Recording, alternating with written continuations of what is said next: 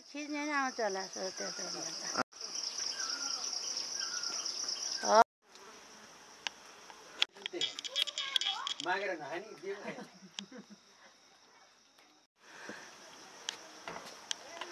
यो के पकाउनु भयो? हो यो यो खोर्पानीलाई अब यसलाई बेसरी पकाएर अब यसको गेडा र बोक्रा फालेर हजुर।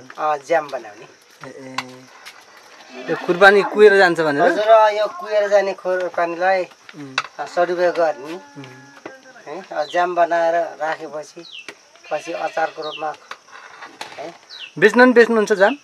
खै यो हाम्रो यो अहिलेको यो पहिलोचोटि हो है। बेच्ने नबेच्ने केही थाहा छैन। यो पहिलो अभ्यास हो यो अब कस्तो हुन्छ के हुन्छ हामी सफल असफल के भइन्छ त्यही पनि थाहा छैन।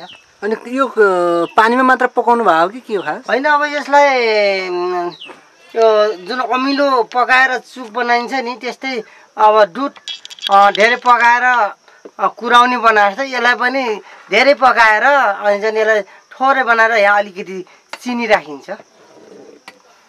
यसको गेरा र बोक्रा फालेर यसलाई पकाएर यो केही समयपछि। अनि यो पानी मात्रै छ कि के छ यसमा होइन यो अब यो यसैबाट निस्किएको पानी हो। यो हामीले त्यो छुट्टै बाँधि राखेको होइन यो यहीँबाट पका के अरे पकाउँदाखेरि आएको पानी हो अनि यो खुरपानीको जाम बनाउने हजुरहरूले तालिम लिनुभयो हो कि ल्याएको छैन त्यो यसरी बनाउनु भनेर एक दुईजनाले हामीलाई चाहिँ नि सुझाव दिएको सल्लाह दिएको भरमा हामीले चाहिँ यो पहिलोचोटि बनाउन खोजिएको। को यो गाउँमा खुरपानी धेरै नै छन् हो बुट्टा छैन चार पाँचवटा बुट्टा होला गाउँभरिमा ए हजुर तै पनि राम्रो भनेको हाम्रो घरमा छ